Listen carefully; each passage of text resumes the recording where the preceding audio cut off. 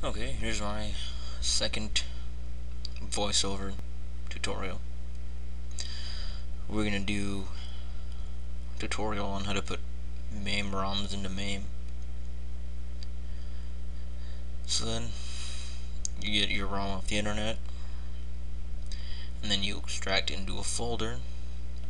I got Donpachi, and you add all those files that are in the WinRAR or 7-zip or WinZip file.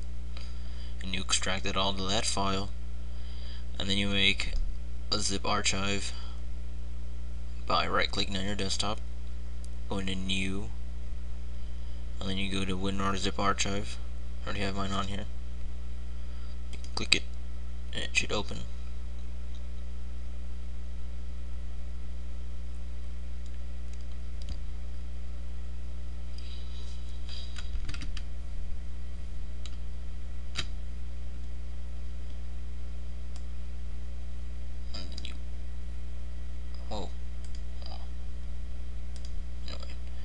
add the files from that folder.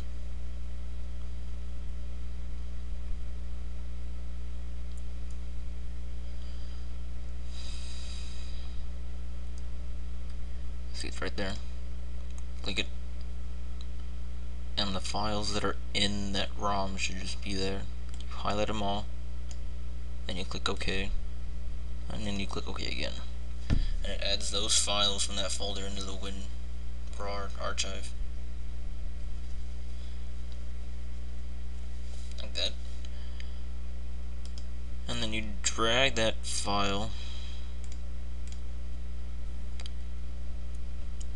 onto there. I already have it on here.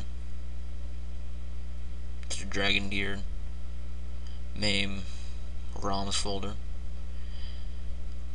And then you open MAME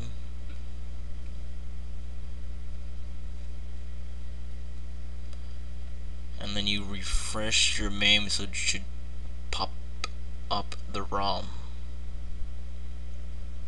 Like that. It should say it's available since you have all those files that run the ROM.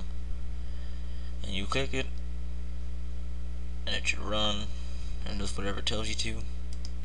And sorry this is this tutorial isn't really telling you much, but you'll probably get it after a while. Uh, later.